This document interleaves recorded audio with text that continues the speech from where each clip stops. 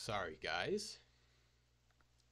This uh, this is going to come out in two parts actually because my gut instinct to stop recording kicked in when my mom knocked on my door. But since I no longer have a video editing software, as you can see, I have no way to clip them together anymore. So this is coming out in a two-part series. This part is going to be on how to do stamina drain. And as I was saying, I am only going to show you how to do it when like you swing your sword or you do a specific action. I am not going to show you how to drain stamina when like your player is running. And there's two reasons for that. One, it's slightly more complicated. And two, whenever I play games, I think it's annoying. So I'm not going to include it in my game. All right, let's get started. So, as before, as I said before, we are going to have, um, we're going to do this using animation events. And if you don't know what an animation event is, then you should watch the previous video. They are these little things that pop up on the top of your uh, things. So, and actually, I just thought of a big brain move. Instead of actually like making a specific event for taking, uh, for basically taking damage, taking stamina damage, what I'm going to do is I'm just going to go into scripting and in this begin damage script, I am going to simply make a reference to our player health and stuff script.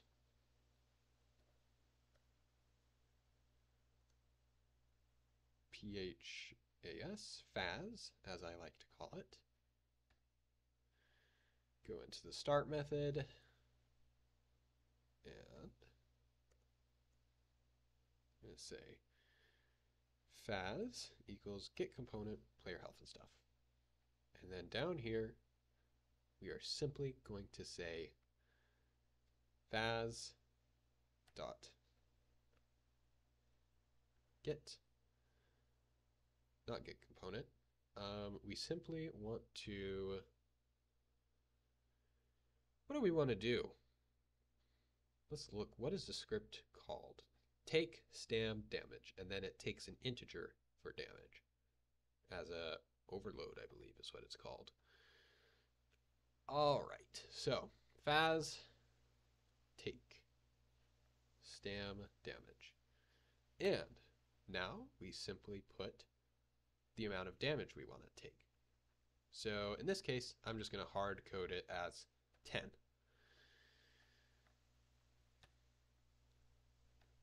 All right.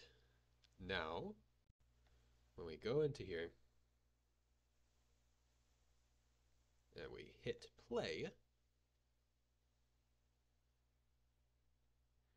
and we swing our sword, you can see we lose a bit of stamina every time.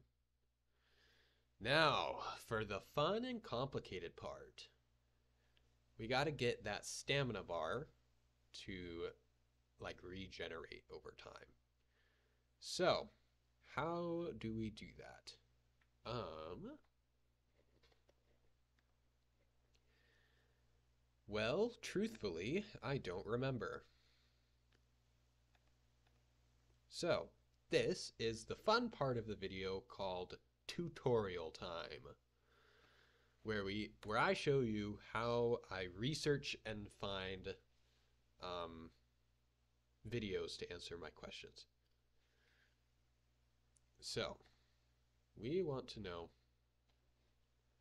how to um what do we want to know? How to let's say just regenerate over time unity. Let's see what other people do. Uh, that video is 20 minutes. that one's half an hour. This one's one minute, but it's only 2D. Bleh. Okay, this one looks okay. 2018. Okay, tip right here. If it's made in 2018 or later, it's probably reliable. Anything that's made before that, like in 2017, is before like a Unity has like some major changes, and it doesn't really apply very well to the newer versions.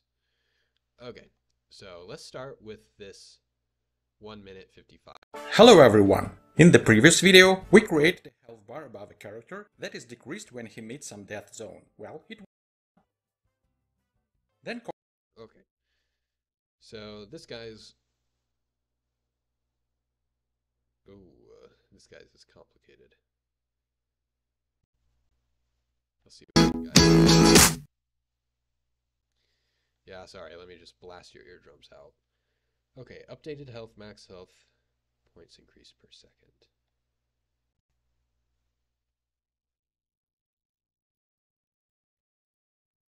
All right, let's see what he puts in the update, because that's sort of what we have to pay attention to. Time. Uh, okay. That's pretty simple. All right, so updated health. So our equivalent number would be just stam. It would be this number, integer stam. And then he multi he plus equals it to the points increased per second times time dot delta time. Now, if you know a little bit about the update method, you might be like wondering to yourself, hold on, the update method changes speed depending on the performance of the device. So this uh, thing would refill his health at different speeds if his device was running slower or faster. And ordinarily, that would be true. But because of this thing right here, it is not. When you multiply something by time dot delta time, it causes it to happen in a linear, gradual, over time thing. All right, so this right here is what we are looking for. We're going to go and we're right under the start method is where I like to put my update method. So void update. We want to raise the stamina. So stam uh, what does he say exactly? Stam plus equals. Okay, plus equals. That's easy. Plus equals. Right, we need a regeneration value. So, we need a new integer.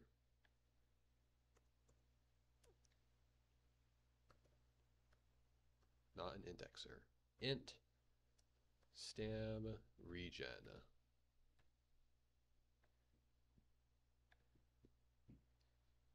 All right, stam plus equals stam regen. and times time dot delta time. Now, it's getting upset because this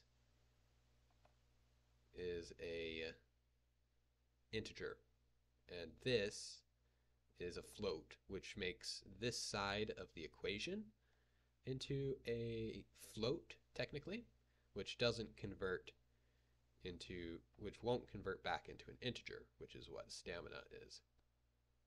And I believe all we need to do is switch that to int. However, I could be wrong. I think there might be something special with Nope, that worked. Also, we're going to move this bad boy up here. And we're going to set him to public so that we can adjust it. That way, maybe you use an item and you want to adjust how fast you regenerate stamina. this setting this as a public integer will allow you to change it from other scripts. All right. Um, so now that that is done, we're going to go into our project, assets, prefabs, and collider change. And we're going to set our our thing, our stamina regen, simply to 1. And I just thought of one last thing. We also need to add a simple check right here to make sure that we're not going above the uh, our maximum amount of stamina. So say if stam um, is less than max stam. And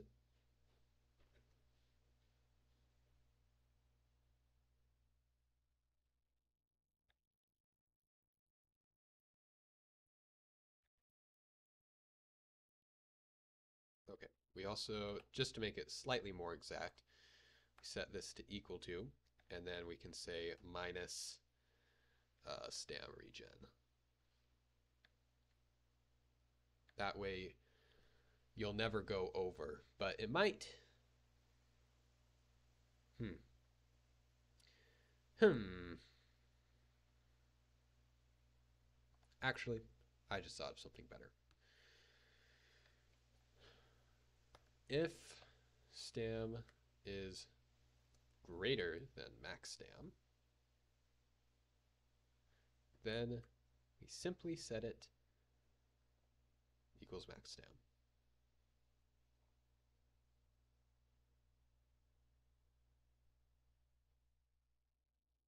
Or,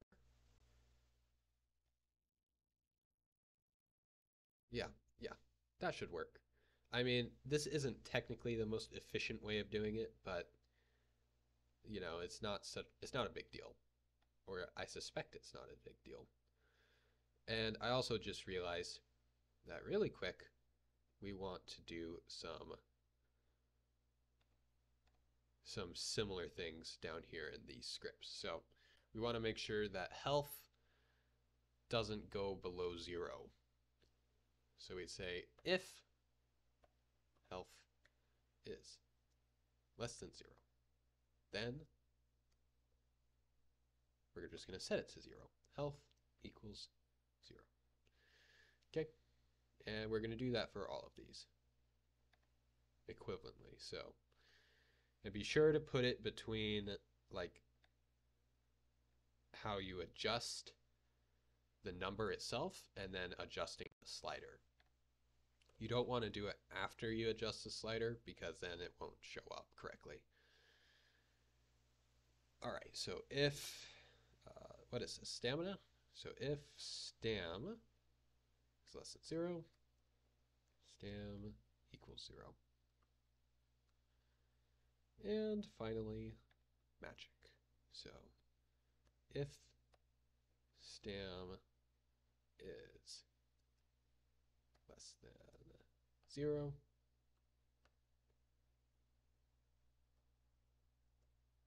stam equals 0.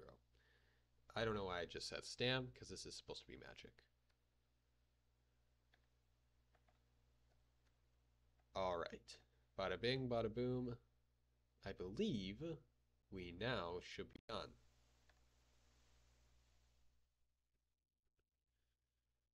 So we have our stamina regen set.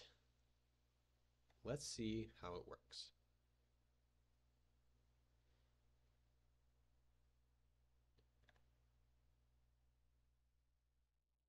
Okay, it doesn't work. Or maybe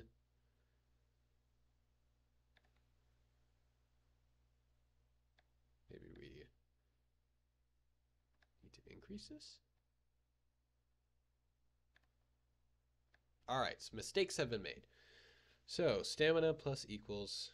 Okay, I suspect it doesn't like how we converted time into an integer like this because I guess now that I think about it, time starts at zero and zero, and then it goes up to like 0.01, which if you're converting it into an integer would just be zero. And so it would reset back down to zero and it would just stay at zero forever. All right. How to use time delta time with uh, integers unity. Let's see what unity answers use. Usually there's just a simple like, oh, you just need to add an extra doodle dad.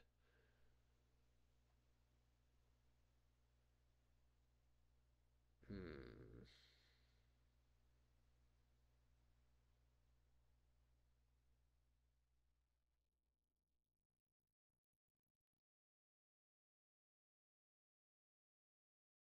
Hmm. Huh. Huh.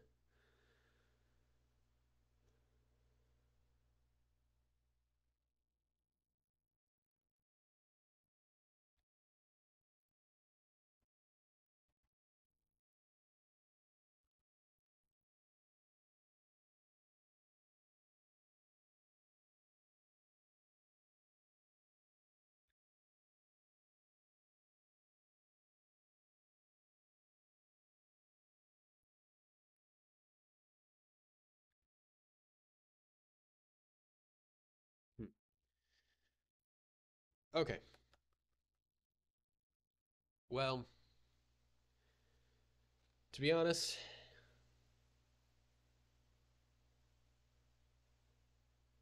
this is uh this would be easier to just convert it into a float. So we're just gonna set these stamina into a float.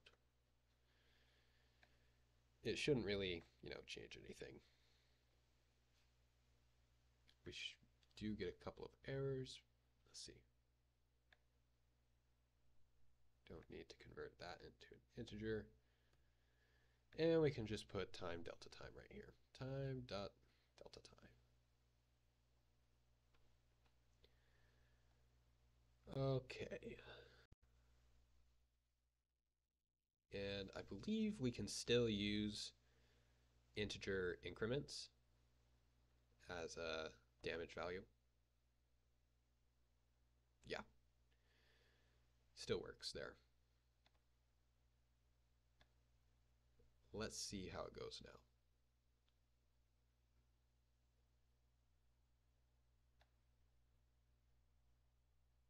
Wow, it still isn't working.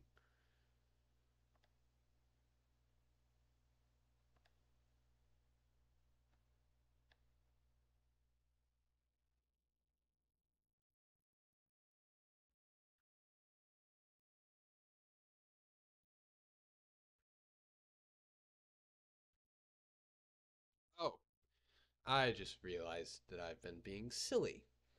Okay. Let's press Control Z a bunch. I just thought of something.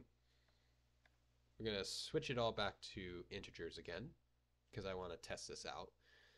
Because I realized what we're doing is we are not updating the UI. So we just have to adjust the stam slider every frame apparently.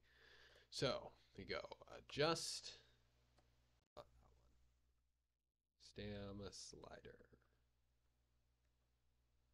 Bada bing, bada boom.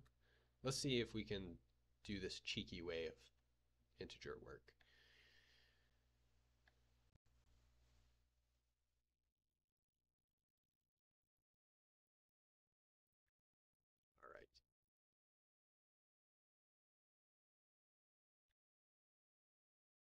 All right. It still doesn't work. All right.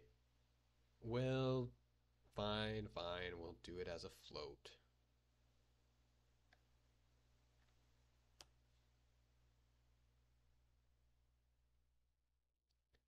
stam, it can be a float.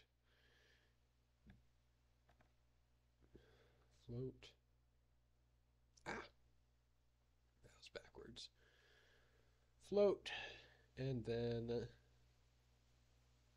let's see.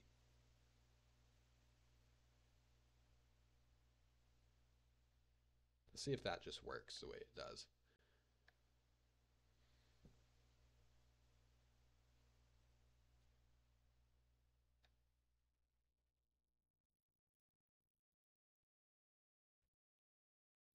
Hey, look at that.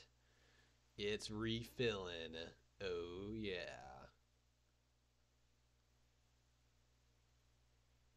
And just to make sure, let's make sure that we're not going like above our health.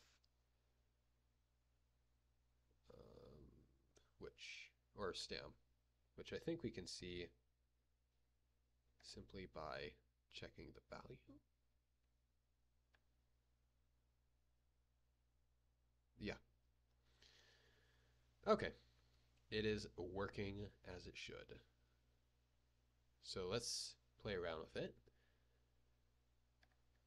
See what the best values are. So let's turn it up by 10. Okay. What if we turn it negative? Hey, hey, a little bit of a drain there.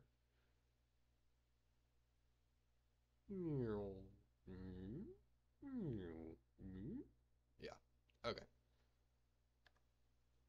Um, and let's make sure that we stay at zero when we do go down.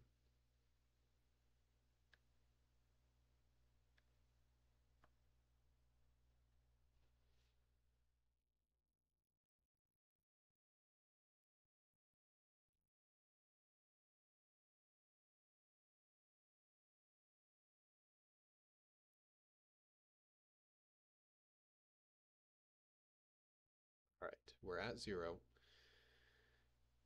At least the value is. I don't know if the value will change if it goes below. But if the uh, if the integer or the float is going into the negatives, then when we turn it into the positive, it should take a while to come back. But if it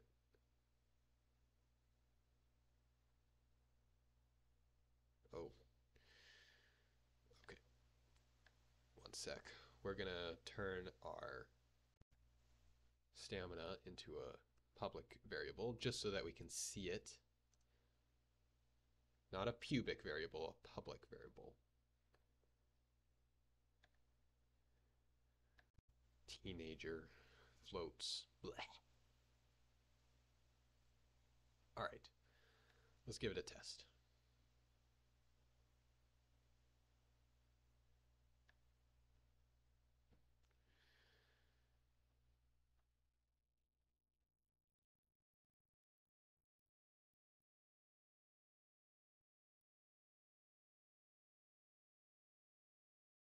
Okay, it is going into the negatives, which is no bueno. We don't want that.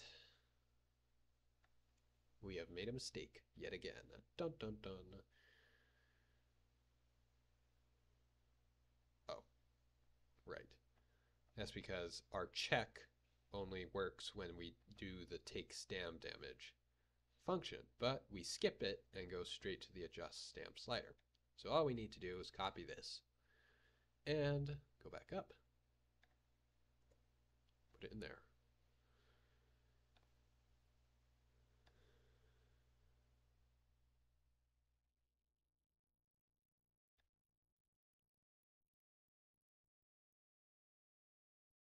Set our regen to negative 20, just so it goes a little faster.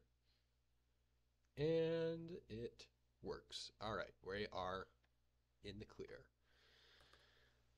All right, ladies and gentlemen, I think that's going to be it for today. I hope that this helped you along your journey of game development, and I will see you next time.